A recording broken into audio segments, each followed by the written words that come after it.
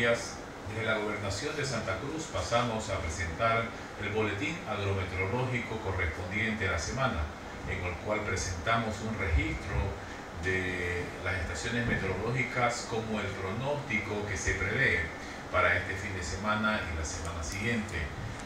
En respecto a las temperaturas, hemos registrado en la ciudad de Santa Cruz temperaturas 22 mínimas y 36.9 las máximas. En la zona norte, las mínimas de 19.8 y máximas de 37.8. En la zona de la Chiquitanía hemos registrado temperaturas mínimas de 20.7 y máximas de 38.3. Así también en los valles cruceños hemos tenido temperaturas de 10 grados y máximas de 32.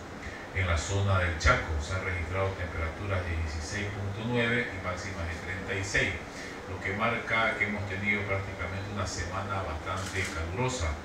En respecto a lluvias, se ha registrado en la zona norte 25 milímetros, en la Chiquitanía 36, en los valles cruceños 63 milímetros y en la zona del Chaco aproximadamente 17. Esto marca que ha habido relativamente algunos chubascos eh, muy sectorizados.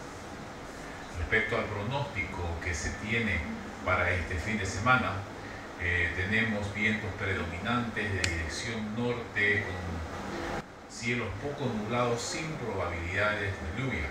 Las temperaturas a registrar serán para la zona de los valles cruceños mínimas de 18 y máximas de 29.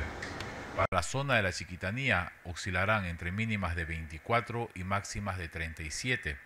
Y para la ciudad de Santa Cruz esperamos registrar eh, mínimas de 24 grados centígrados y máximas de 34, lo cual nos depara el pronóstico un fin de semana caluroso.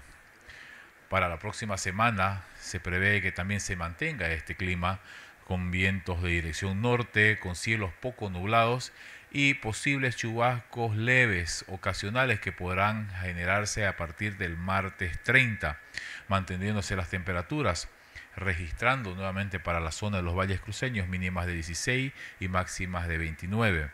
Para la zona de Chiquitanía tendremos mínimas de 24 y máximas de 35. Para la ciudad de Santa Cruz y el resto de las provincias también se tendrán temperaturas mínimas de 21 y máximas de 33, definiendo nuevamente para la próxima semana una semana calurosa con algunas precipitaciones ocasionales.